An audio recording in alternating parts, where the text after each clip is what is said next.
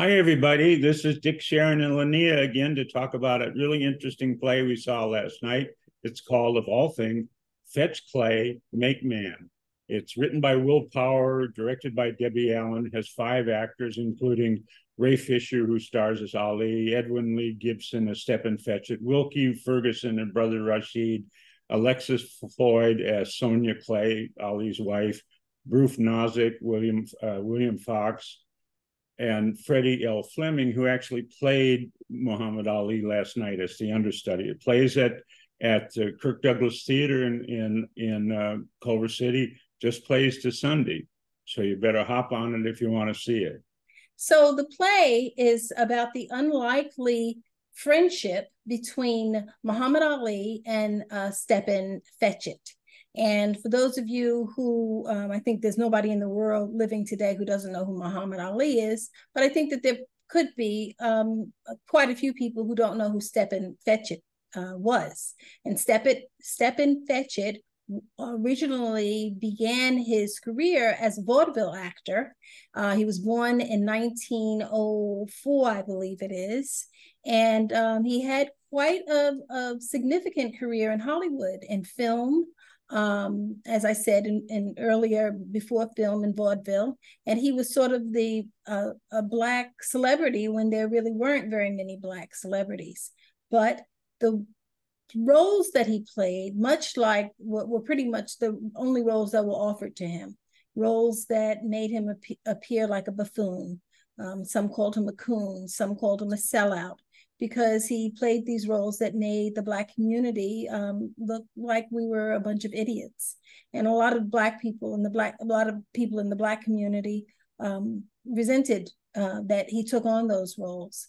But there were those who understood that, you know, he, he needed to make a living. And so that's what he did. So anyway, it's about this unlikely relationship between Muhammad Ali, who was just coming up.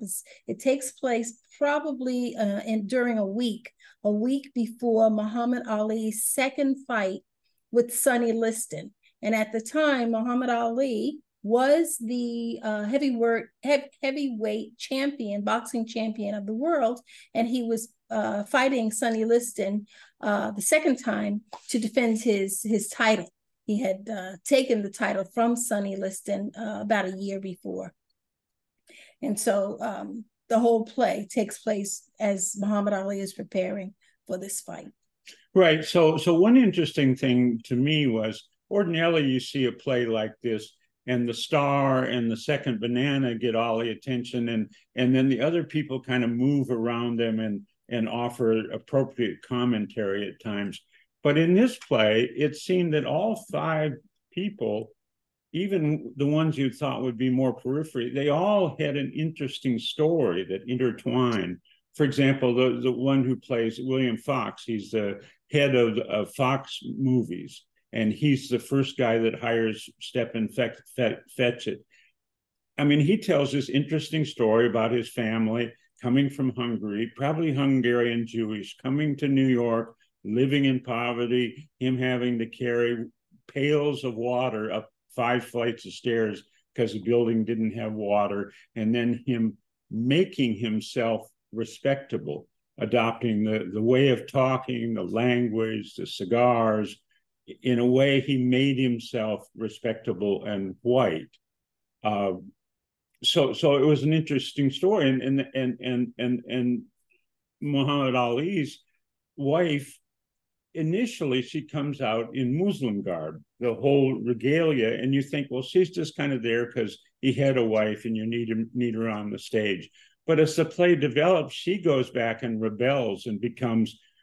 I mean, she was a party girl who met Ali at a dance club and and had been making her living on her back since a young girl and and she had a powerful emotional story that added to it so so to me that was both a strength and a weakness because it was like everybody everybody on stage has a has a has something to say and on the other hand it was like you well who's what story are we listening to here you go into it because Muhammad Ali is so famous. You think, well, it's all about Muhammad Ali and Sonny Liston and and why did he have this weird guy from the 30s uh, in his training camp? You leave it and you think, this is Stepin Fetchit's story. He has a more powerful how he made his way in the world when racism was on steroids. So I think that um, in its at its core, this play is really a play about identity, um, respectability politics, and identity. Both your own self, how you self-identify, and the identities that are imposed upon you, and then the things that you do to gain respect, to elevate your status in life, so, for example, Fox, the guy who was in charge of Fox Studios, I guess what ultimately became Fox Studios, he kept saying that he made himself white. Well, clearly his race was his race from the time that he was born. He didn't make himself white.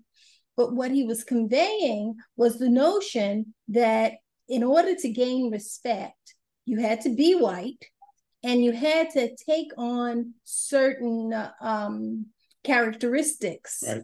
um, that being white coupled with these other characteristics would provide you entree to a different world, entree to a world that is closed to people that are non-white. However, there is some status um, movement, uh, status mobility in the non-white world, and we see that with um, Muhammad Ali's uh, wife who came from um, beginnings where she was a um, an orphan child and didn't have parents to take care of her, and there was some suggestion that maybe she may, may have been a prostitute, but then shed that whole image and hid it, but then took on a, you know wore the the um the Muslim uh, like the yeah the, the the Muslim garb, but then wanted to go back to wearing her regular clothes because she wanted to um, take her own identity back. Not necessarily being a prostitute, but not having someone define for her what was respectable. And that's what Muhammad Ali was attempting to do. And, and their marriage didn't last. Do you have thoughts, Nia?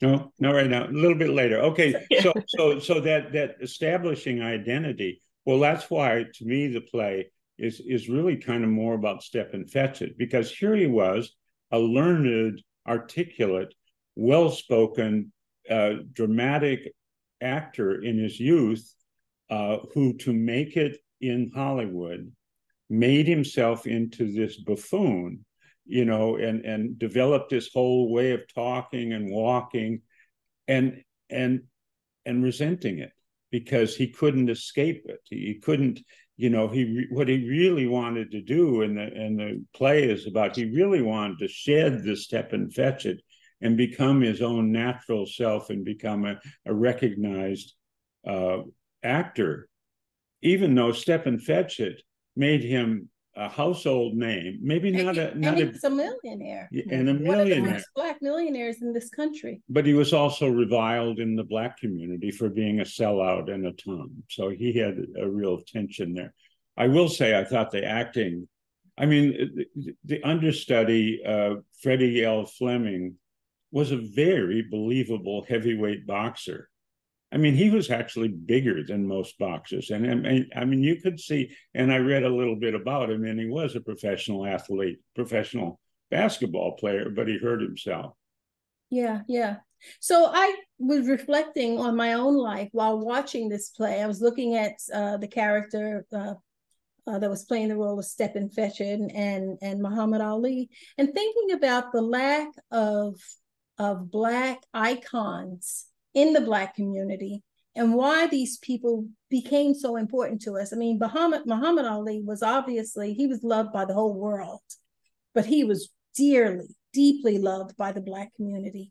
And um, I think that, you know, he was talented, he was beautiful, you know, he had charisma, and, he was a world champion in a very brutal sport, you know, if, if we're being honest. But the thing is, there was a lack of focus and there was a lack of heroes. There were a lack of when you look back in uh, particularly um, post civil war and you look in the, the south and really the rest of the country all of the monuments that were erected in this country, the vast majority of those monuments are from Civil War people who were uh, attempting to secede from the nation. You know, they were traitors to the nation.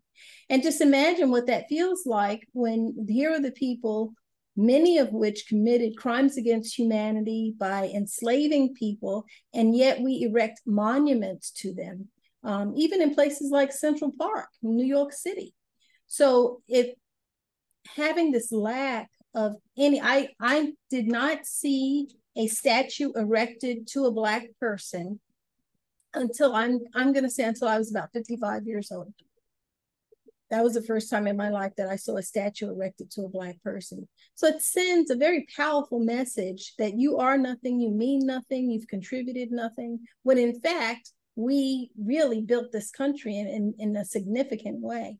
So um, this play made me look at the iconography and the metamorphosis of that, uh, the evolution of the iconography, how it was that Stepin Fetchit was sort of the only one at, at a point. We did have Jack Johnson, and I have some notes here about Jack Johnson, who was a professional boxer who um, Muhammad Ali wanted to find out about his secret, his secret punch. And and so the, the premise of this relationship between Muhammad Ali and Stepin Fetchit is that Stepin Fetchit had a personal relationship with Jack Johnson, and Muhammad Ali was trying to glean information out of Stepin Fetchit about Jack Johnson's special punch. And then you, I later learned that that punch was the thing that took out Sonny Liston.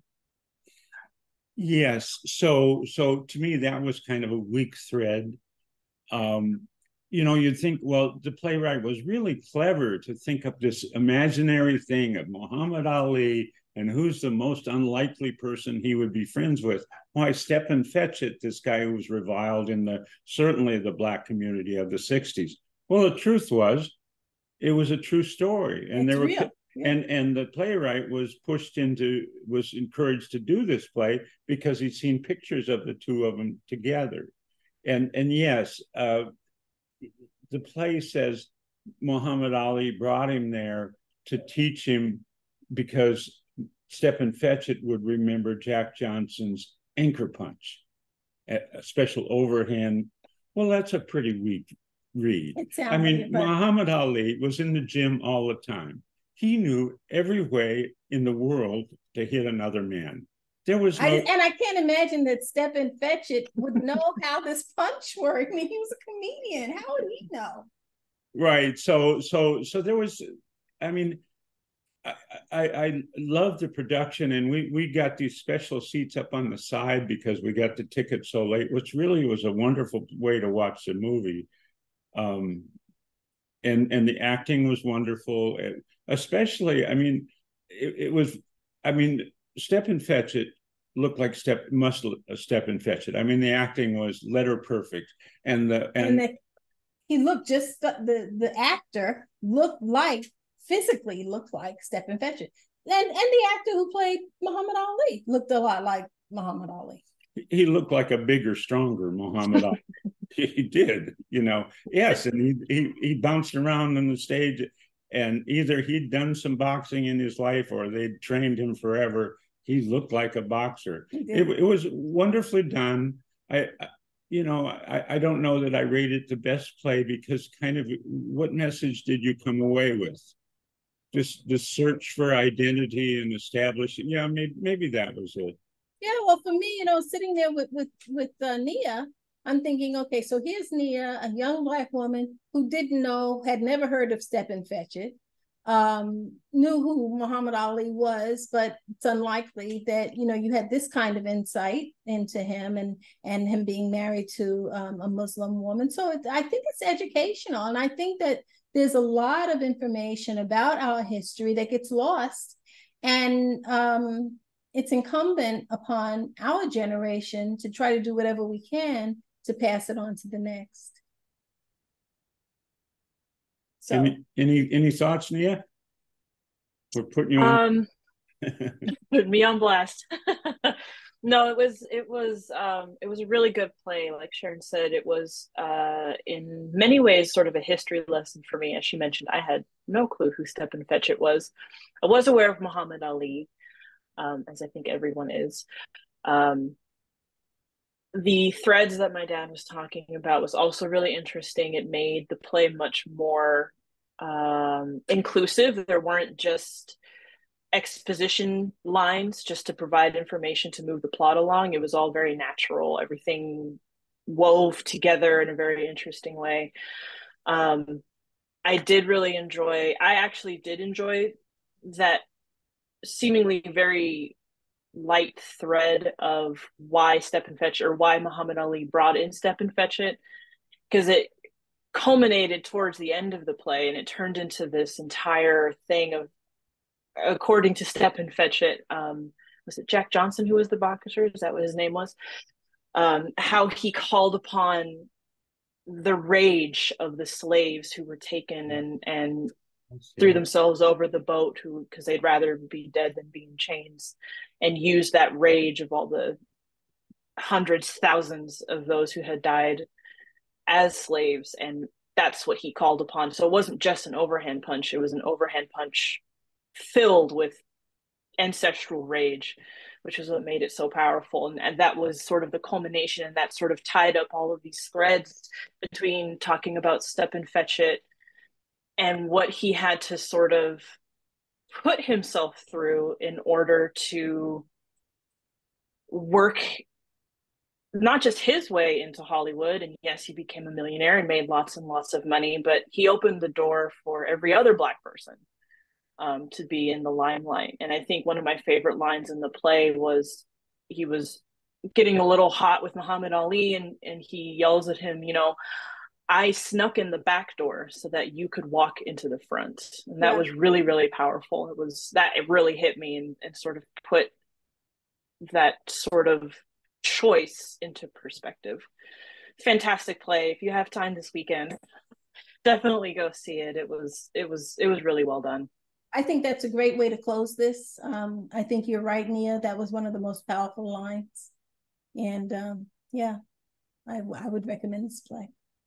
Yeah, highly. that's it too. So it's kind of about the contortions black people have to do to mm. succeed in a white world, which is what Stepin Fetchit's stories was about, and also to some extent Muhammad Ali's. Oh, yeah. So good. So we have a. So we're seeing another play tomorrow night, another one Sunday. Boy, we're we're just theater going aficionados. yeah, yeah. It would be nice if some of these tickets were free. They are this weekend, all, all, all this weekend.